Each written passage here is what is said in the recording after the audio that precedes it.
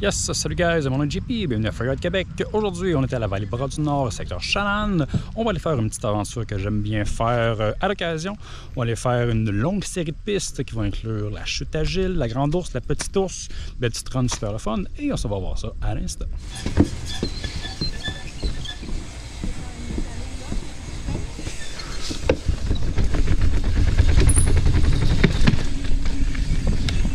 Alors, on commence par ici. On va prendre les petits chemins en serpentin à l'entrée du réseau juste ici. Et on va se diriger vers la Grande Évasion. On va donc prendre la Grande Évasion juste ici. Une petite euh, bleue qui va rouler entre le boulevard à Gérald et la rivière. La Grande Évasion, une petite option de fun pour les gens qui commencent. On va voir quelques petites sections de descente. Je vous montre ça dans un instant. Et puis les pistes sont sèches, j'en reviens pas. J'étais sûr que j'allais arriver ça allait être trempe. Alors, la grande évasion. La petite piste super le fun. Souvent, on fait commencer les blancs des enfants ici. Ça fait une certaine vitesse. Mais prenez en considération qu'il n'y a rien de dangereux ici. Tu peux le roche vers la fin. Encore un peu de descente.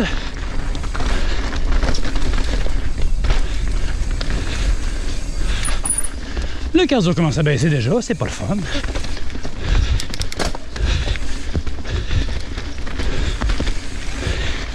Déjà plus difficile vous jaser.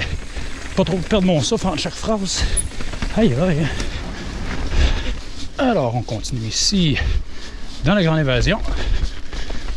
On croiser le chemin à Gérald. Et on prend la chute agile juste ici. On tombe dans du noir, attention. La roche ici à la croche, je vous avertis. On prend l'expérience. Et on passe à côté de la chute agile juste ici. Merci. Qu'est-ce qu'il y a en haut de ça? C'est la légende. Alors, on tombe dans des sections cross-country juste ici qui sont assez catchy. Pas si c'est parce que je vieillis, mais j'aime ça monter ça. On pourrait partir un channel alternatif, Cross Country Québec. Ça ici, la nouvelle accès à gauche très difficile. Ah! J'en ai même glissé et tombé. Oh! Ça sera pas un sans faute. J'ai jamais réussi à monter ça là Donc, un nouvel accès avant de passer ici. Donc, on va prendre notre chemin.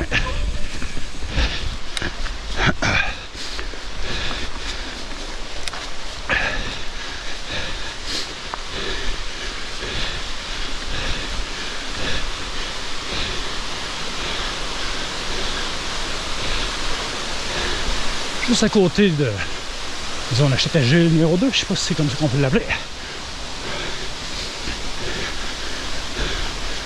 Un petit serpentin de plus.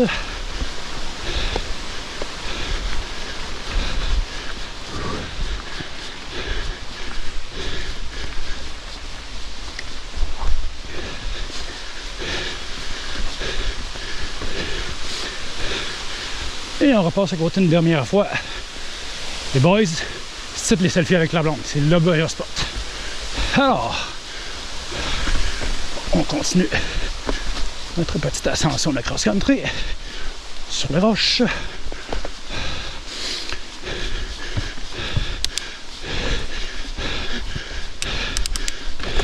Peut-être la section la plus difficile, juste ici. Donc à droite, je peux vous inviter à faire la Tomahawk, qui est une nouvelle section qui va connecter avec la section de Tomahawk que vous connaissez.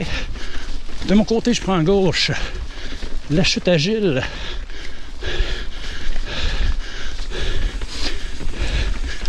Donc, euh, pas de new school, pas de module, pas de bois. Vrai trail de cross-country. Avec des roches et avec des racines. La fin était retapée un petit peu euh, en début d'année. Lorsqu'ils ont fait la nouvelle entrée d'Atomark. Un peu de descente ici.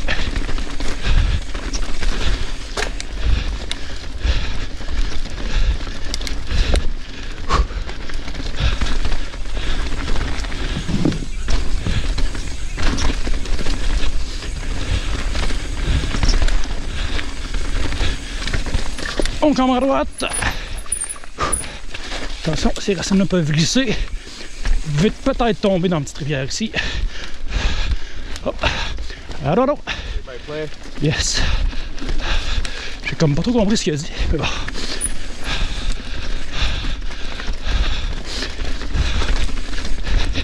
À partir d'ici, la chute agile a changé depuis 2023.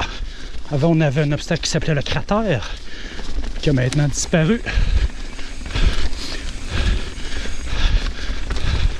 On va donc faire notre approche par la droite cette fois-ci. Puis on évite euh, une espèce de loop d'autoroute euh, qui était, ma foi, bien le fun, mais bon. Donc ici, les anciens ponts de North Shore. Là, on va descendre ici à droite. L'ours avançait beaucoup là, donc on va voir une nouvelle section juste ici. Fin d'année, hein? On a une sortie ici à droite qui nous ramène au boulevard Gérald. Et c'est ici qu'on termine la chute agile. Si vous êtes fatigué, je vous invite à prendre la sapinière à droite. Pour nous autres, on continue dans le boulevard Gérald. Les boys, deuxième spot à selfie. Là, je suis de votre bord, je vous aide, là. Juste ici. Ici, c'est gagne. À droite, c'est pour vous aussi. Alors, de notre côté, on continue dans la Grande Ourse. Une de mes pistes que j'adore, donc une bleue, qui va nous faire suivre le secteur de la rivière juste ici. J'ai justement croisé euh, les qui venaient essayer la Grande Ourse euh, et le secteur après avoir écouté mes vidéos. Donc, un, un gros merci d'écouter, c'est super le fun. Fait que de mon côté, c'est la première fois que je monte la Grande Ourse. On va essayer de garder ça le plus court possible. Donc vous comprenez que c'est du cross-country. Je vais essayer de vous montrer seulement ce qui est intéressant. On traverse le chemin d'accès juste ici. Grande Ourse section 3. Donc sachez que la Grande Ourse est séparée en 5 sections. Section 1 à 3 vont monter si vous voulez. Donc aller plus vers la ZEC.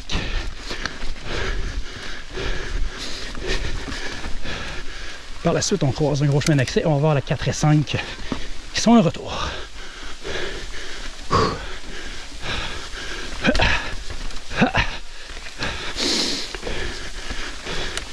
Ça ici, à côté de la chute. Ah, pas trop, pas de problème. Yep, alors, c'est ici. On arrête. Oh, le dos, attention.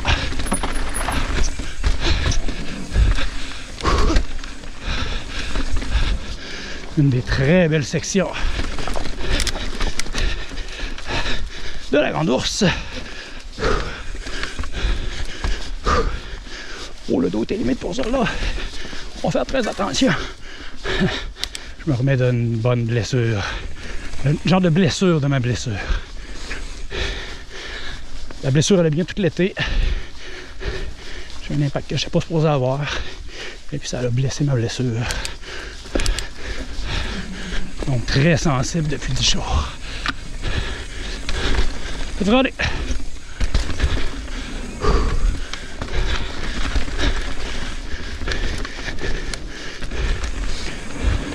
Si vous commencez à apprivoiser le secteur Shannon, vous voulez voir un petit peu quel genre de piste vous pouvez faire pour commencer. Tu sais, normalement, on évoque les sucrés, la grande évasion. La grande ours était probablement la prochaine étape logique. Avant d'aller faire les Nelson, je pourrais même comparer la grande ours à une version facile de la Nelson Nord. Moins le panorama, évidemment. Malgré que la chute d'escalade à gauche était quand même quelque chose, mais je vais vous laisser la découvrir. La section la plus fun de la Grande Ourse.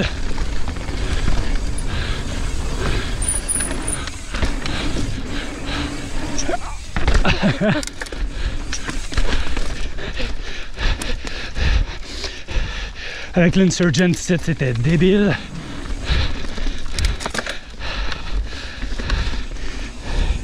On monte.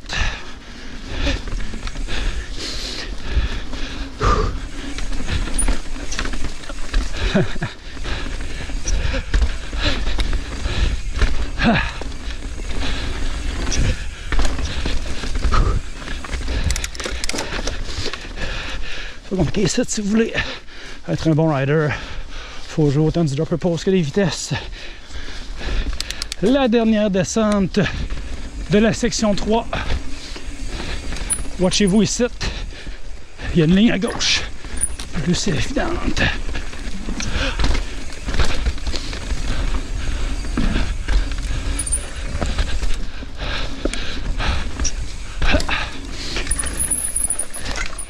Ça ici.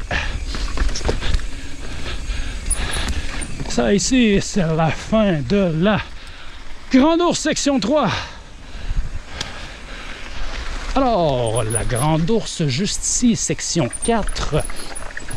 Donc, on va rouler sur le bord de la rivière. Oh, ça a été refait, c'est fun. Ici, comprenez que la rivière est à côté. La rivière est très, très proche. Donc, lorsqu'on arrive au printemps ou lorsqu'on arrive dans les grandes crues comme au mois de juillet, écoutez, l'eau monte jusqu'ici. On va dire les vraies choses. Je vois que l'équipe Sentier est venue et a retravaillé la trail ici. Parce que la dernière fois que j'étais venu, c'était très difficile. Ah, super, je suis content. Pour vrai, je le temps de lever mon chapeau à l'équipe de la vallée Brosse-Nord ainsi qu'à toutes les équipes d'entretien euh, du Québec. Pour vrai, c'est fou le travail que vous avez fait euh, cette année. C'est sûr, moi plus dans le coin de Québec, je suis un petit peu plus proche de voir un peu les travaux de LBC, de voir euh, les équipes d'entretien, exemple d'Empire 47. Fait que en roulant ces pistes-là, régulièrement, on voit un petit peu euh, qu'est-ce qui a été travaillé, où est-ce que, où est-ce que la nature reprend sa place. Donc la grande ours, la finale, on a un petit peu de pause de descente comme ça, attention le pédale passe proche. On va donc jouer avec les dénivelés ici tout le long. Donc des, des beaux petits tracés qui ont été faits pour profiter juste ici. Ouf.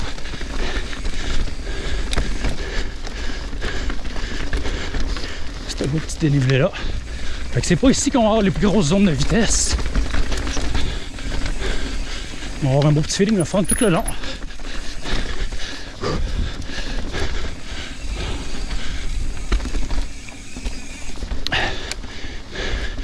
Et on arrive ici. Est-ce qu'on peut dire sur le bord d'une tourbière? Et voilà, ça va être la fin de la Grande Ourse. Section 1 à 5, donc la totale. Avec la petite boucle supplémentaire, petite ours d'un sens et petite ours de l'autre sens.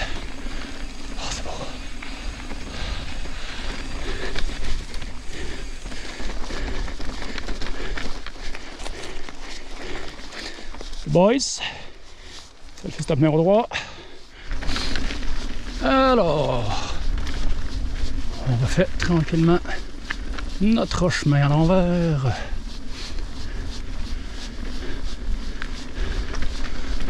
Donc notre chute à Gilles, chute à chute à qui arrive à droite ici. De l'autre côté, on prend la sapinière.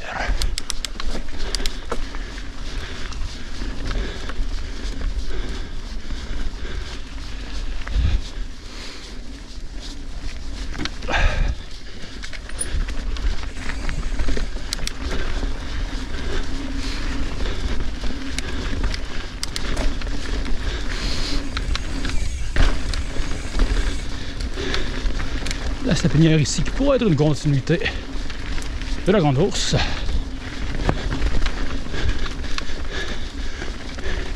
Si ce n'était pas, attention, attention, Le tour de sapin qui est là, ici. C'est des noms, des fois, tu te demandes pourquoi que la piste est appelée comme ça. Donc, la sapinière. C'est évident.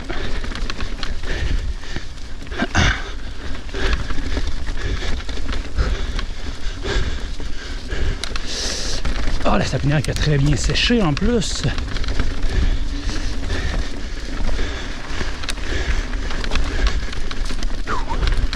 Yes. Sapinière donne un peu de boulevard à Gérald. J'ai appris cette année que c'était le boulevard à Gérald et non pas à Gérard. Donc, toutes mes excuses. Sentier Boréal qui ont refait la traverse ici, un commercial Sentier Boréal. Au moment où on se parle, est-ce que le début de la sapinière a été réparé? On va voir avec la magie de l'editing si je suis capable de vous copier ça. La tomate. Et non! Non, que la personne a plus fun. Savez-vous quoi?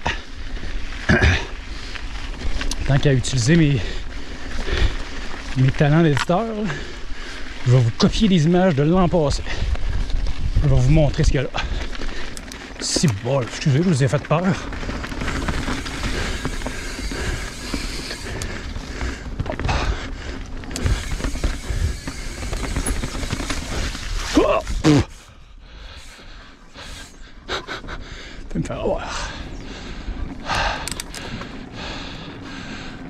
Ah.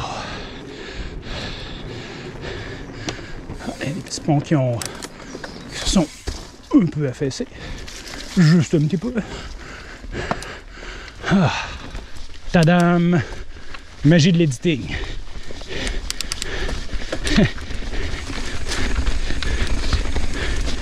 Les plus fins renards auront remarqué que c'était même pas sur le même vélo.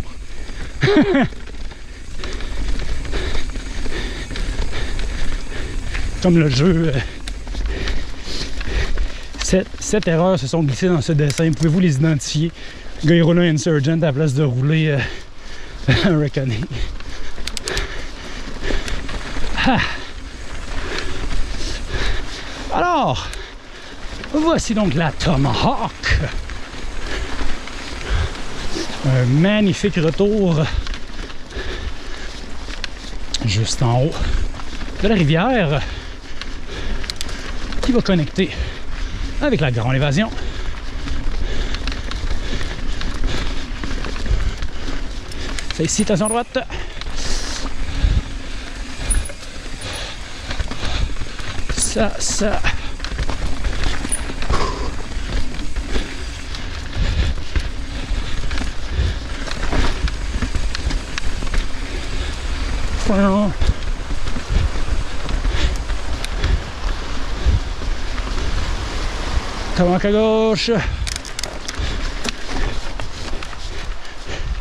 Ça faire au moins trois fois que je filme cette piste-là. Je vous l'ai jamais montré, ça n'a pas donné. Toutes les fois, je vante les vertus de espèce de petits matériels en toile qu'ils vont installer sur les côtés ici. Donc, ce matériel-là va, si vous voulez retenir et accumuler la matière organique, qui va, attention, attention, pousser de la matière organique. Donc, ça évite que les côtés de piste s'évasent et euh, plutôt que la nature reprend sa place, mais plutôt la, le côté de la piste que j'ai comme pas de nom technique en tête va, euh, va prendre sa place. On appelle ça revitaliser la piste. Donc souvent, c'est exemple, il y a un, du, travail de peine mécanique qui est fait dans une piste comme ça, on va tout passer, on fait notre piste. Souvent, on va repasser le souffleur pour ramener les feuilles du matériel ici. On va juste ressouffler une dernière ligne. Ça, c'est une manière de faire des pistes un petit peu euh, que certains builders vont faire. Pour être sûr que ça soit pas trop large et que la nature reprenne sa place. Et une autre manière, ça va utiliser les petits filets comme euh, vous voyez ici à la vallée. Donc, on vient de quitter le secteur euh, de la rivière. On rentre un petit peu plus dans la forêt ici. On est donc revenu au début de notre itinéraire. Alors, de notre côté, on prend ici à gauche dans la Grande Évasion.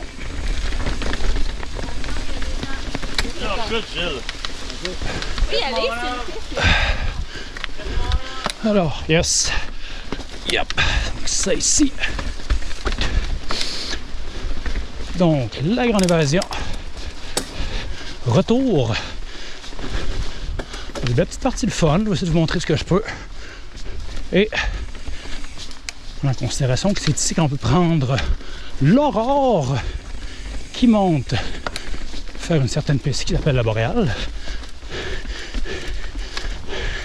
qui a été bâtie par Sentier Boréal. Une autre belle petite piste que vous connaissez peut-être sous le nom de la légende.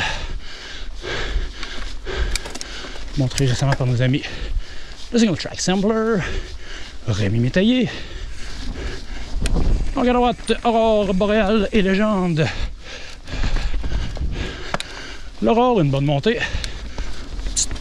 Demi-heure à monter, je sais pas. Je sais pas, je la fais en quel temps?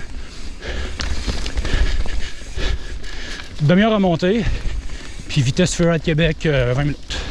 À peu près. Parce que je monte en imbécile d'habitude.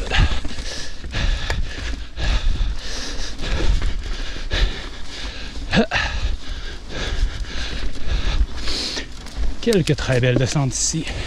Dans la grande évasion. Donc, elle ici.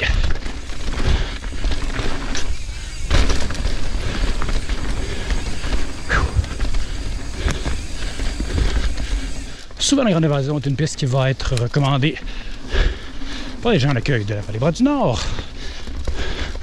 Donc, c'est une bleue. Je vois si je m'en vais avec ça, c'est que vous allez probablement croiser des familles, des enfants ou des couples qui commencent, peu importe. Donc, une piste à faire dans le respect. Je la fais une bonne vitesse de mon côté, mais je garde un œil sur ce qui se passe en avant.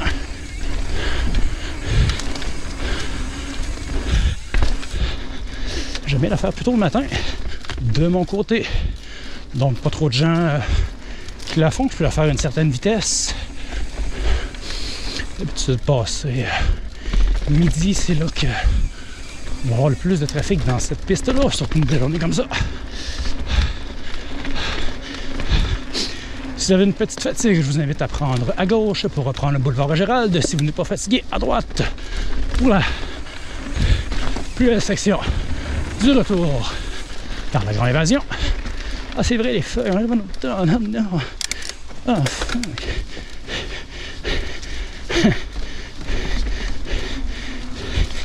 J'ai montré des images de l'Octopus, nouvelle flow trail de la vallée. Quelqu'un qui disait, oh, de l'automne à Québec. Oui, désolé.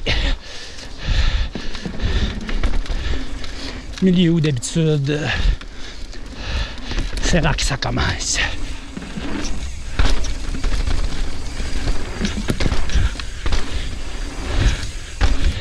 Tellement de belles sections de trail. Ça ici, ça ici. De faire ça dans le respect. On fait attention. Personne d'autre. Alors. Presque terminé pour la grande évasion.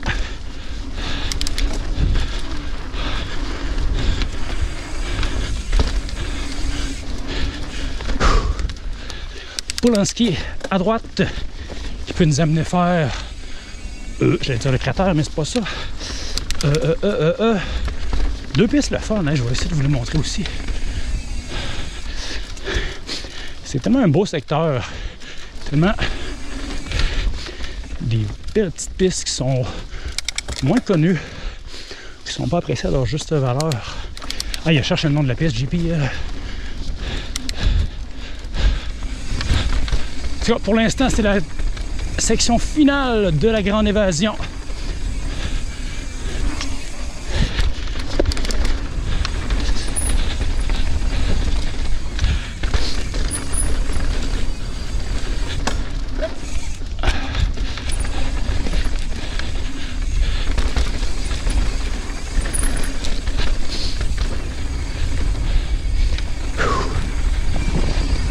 Et voilà, c'est donc la fin de la grande évasion. Aïe, aïe, aïe. Bon, de mon côté, je montre quelques pistes de plus que j'adore. On prend la Polanski juste ici. Donc, à la place de faire la dernière section de la Grande Évasion, je vous invite à sortir vos skills de cross-country et venir grimper la Polanski. C'est une piste pas facile, je vous avertis. Mais depuis quand j'ai l'habitude de vous montrer des pistes faciles? Dans les racines et souvent dans la boîte, on va se dire les vraies choses la vie. Je crois que tu peux la faire des deux sens. Je crois. Je la fais tout le temps dans ce sens-là. Parce que d'habitude. Oh, ils l'ont tout refait, c'est dommage cool. Je viens ajouter ça à ma run de grande évasion ou de peu importe ce que j'ai fait. À dire, de mon côté, je l'utilise seulement comme connecteur pour aller faire la suivante.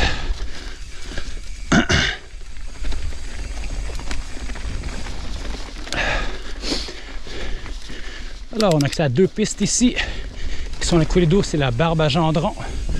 Deux pistes, ma foi, assez différentes. Donc, de mon côté, la première que je fais tout le temps, la coulée douce, juste ici sur notre gauche. Une belle piste qu'on peut aller chercher une bonne vitesse, juste ici. Oh, pas une 20 km, c'est bon.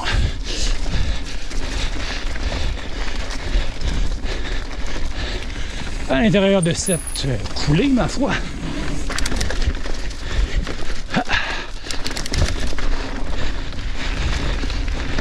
peux pas vous dire pourquoi j'adore cette piste-là. Je l'adore.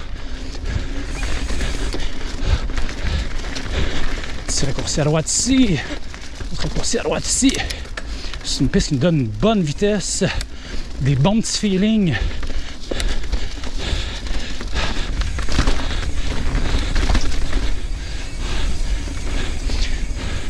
C'est une piste qui est tellement pas appréciée à sa juste valeur. Je viens souvent la faire euh, et je l'ai montré à ma copine récemment et elle l'a adoré. Ah!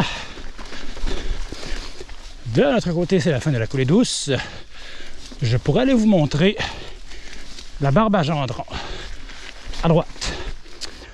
Dernière étape de notre périple, la barbe à gendron.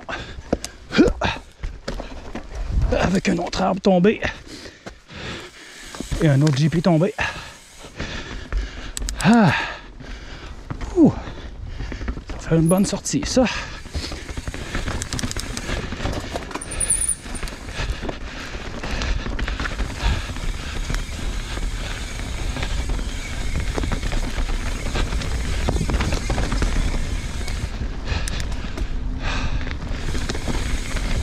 Pas trop difficile pour finir.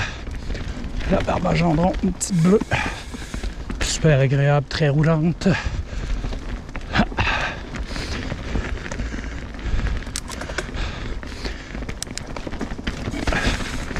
On est presque revenu à notre point de départ qui était le pont.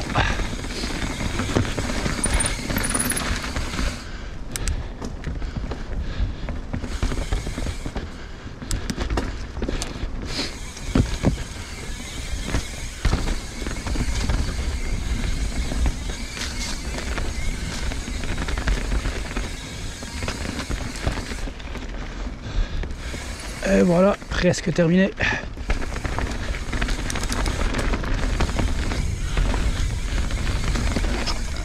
Oh, des petites doubles!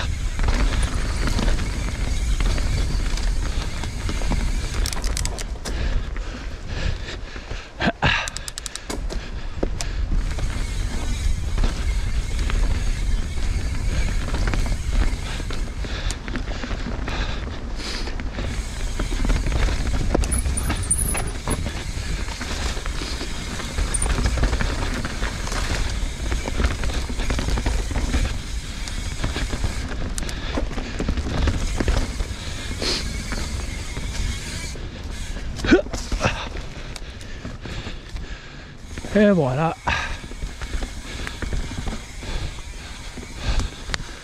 Ah. On termine officiellement.